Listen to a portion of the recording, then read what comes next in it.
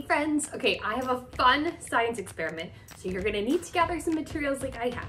You're gonna need milk, dish soap, a bowl, some Q-tips, and food coloring. Once you gather all those materials, come on back. All right, so now that I have all my ingredients, I'm gonna add the milk. And you wanna add about a quarter cup of milk. That looks fun, right? Now you're gonna add your colors. I'm going to add red. Now be very careful when adding your colors because it can stain. So do this very carefully or have an adult help you out. I'm gonna do some green and some blue. All right, now that I have my colors separated, it's time to have some fun. So take your Q-tip, dip it in the soap, and push it into the milk. Whoa, that exploded. Look, you can swirl them together and make some art. This is so neat.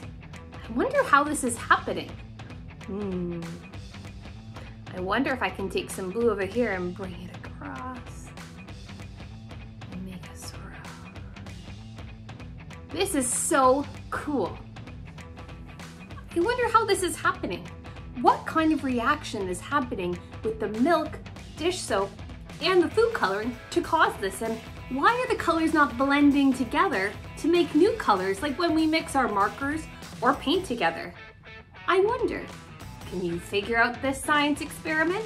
I wonder what kind of beautiful pictures you're gonna make. Be sure to take a picture of it and send it to us. Happy learning, friends!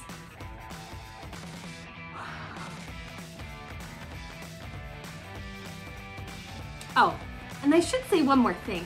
Remember, this milk might look good, but it has dish soap in it, and it wouldn't be tasty. If you're feeling a little thirsty, make sure you pour yourself a fresh glass. This has been your Science Experiment Day.